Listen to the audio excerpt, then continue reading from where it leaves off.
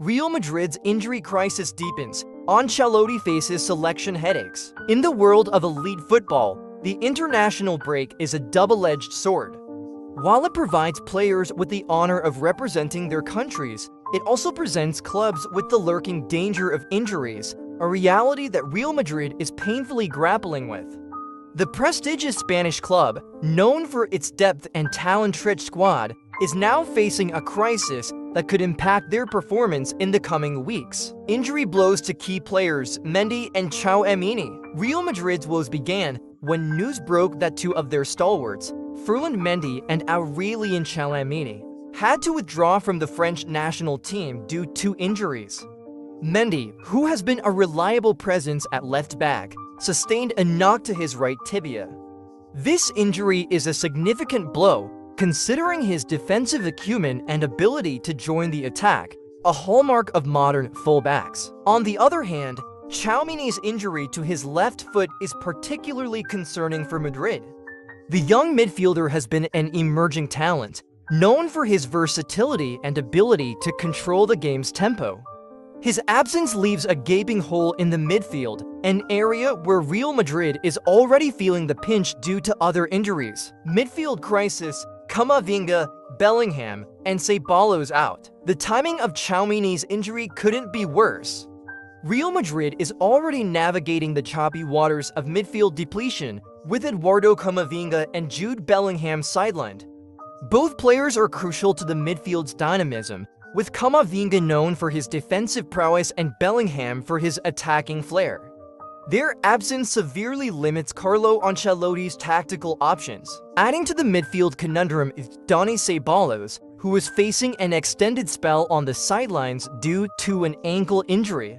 His creativity and ability to execute key passes will be sorely missed, especially in games where breaking down resolute defenses is of paramount importance. Carlo Ancelotti's dilemma, selection headaches await. For manager Carlo Ancelotti, these injuries present a daunting challenge.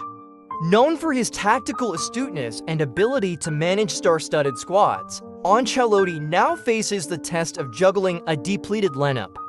His criticism of the international break, citing the risk of injuries, now seems prophetic as he contemplates his next moves. With Real Sociedad looming on the horizon on September 14th, Ancelotti's immediate concern will be finding suitable replacements.